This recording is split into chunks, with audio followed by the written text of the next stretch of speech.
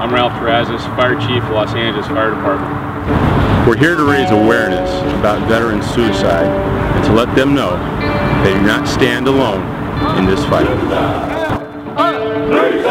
up, up, up, up, up, up, up,